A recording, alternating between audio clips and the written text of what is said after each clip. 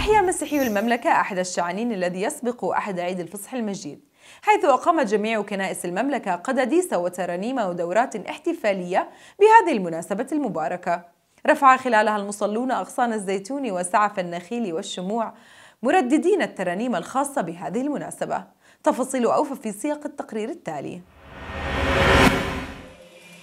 وسط أجواء من الفرح والبهجة احتفلت كافة الكنائس في المملكة الأحد الماضي بإقامة القداديس الإلهية بمناسبة عيد الشعانين المقدس حيث عمت الفرحة كافة الرعايا المؤمنين الذين قدموا للصلاة في الكنائس المحلية على امتداد أرض الوطن. وقد كانت لعدسة نورسات مشاركة مميزة في تغطية بعض الكنائس التي أحيت هذه المناسبة المباركة. ففي كنيسة دخول السيد إلى الهيكل الصويفية ترأس سيادة المطران خريستوفورس عطلة مطران الأردن للروم الأرثوذكس قداسا إلهيا بمناسبة عيد الشعانين. وفي عظة القداس قال سيادته إن السيد المسيح يدخل اليوم أورشليم ليبدأ درب ألامه طوعا من أجلنا. لذلك دعونا نتحرر من قشور الاحتفالات بالعيد ونهيئ ذواتنا لنصلب شهواتنا وخطايانا مع المسيح ونقدم مثالا صالحا لأولادنا بتفعيل سر التوبة والاعتراف ومساهمة الأسرار المقدسة والخدم الليتورجية. وفي نهاية الخدمة أقيم زياح احتفالي خارج الكنيسة بسعف النخيل. عاونه في الخدمة عدد من الآباء الكهنة والشمامسة بحضور حشد من المؤمنين.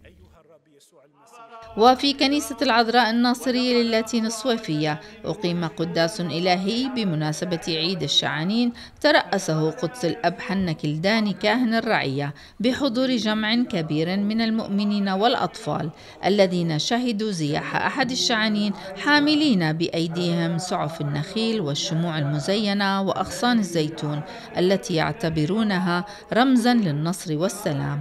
هاتفين بصوت واحد هوشعنا في الأعلى. الأعالي مبارك الآتي باسم الرب. كما أقيم في كنيسة يوحنا ديلا سال فرير قداس إلهي بمناسبة عيد الشعانين ترأسه قدس الأب إبراهيم نفاع. حضر القداس جمع كبير من أبناء الرعية.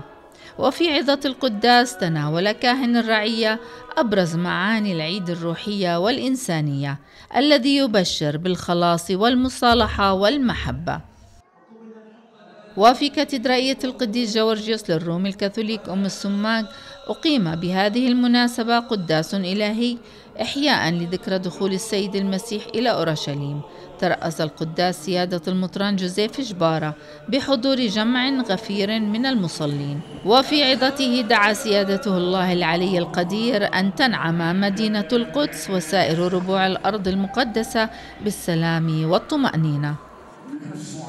وبذات المناسبة المباركة أقيم في كنيسة مار فرام للسريان الأرثوذكس قداس إلهي احتفالا بعيد الشعانين الذي صادف قبل أسبوع واحد من الاحتفال بعيد الفصح المجيد حيث ترأس القداس قدس الأب الربان بنيامين شمعون راعي الكنيسة بحضور جمع من أبناء الرعية السريانية في المملكة.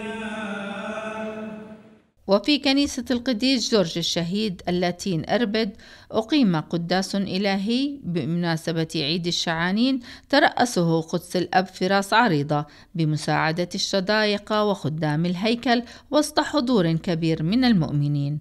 وفي ختام القداس أقيم زياح الشعانين في ساحة الكنيسة حاملين سعف النخيل والشموع المزينة وأغصان الزيتون رمزا للنصر والفرح. هاتفين بأغصان السعف والزيتون المباركة.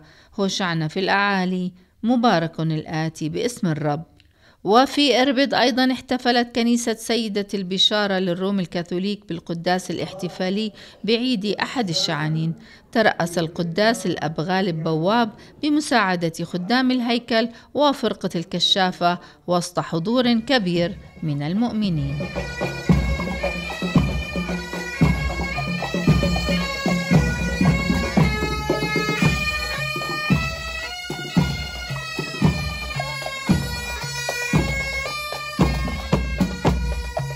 وعقب جميع القداديس التي أقيمت في كنائس المملكة نظمت دورات الشعانين داخل الكنائس وفي ساحاتها والشوارع الملاصقة لها حيث رفع خلالها المشاركون سعف النخيل وأغصان الزيتون مرددين الصلوات والتراتيل على أنغام الفرق الكشفية الشجية ابتهاجا بالمناسبة واستعدادا للصلوات والمراسيم.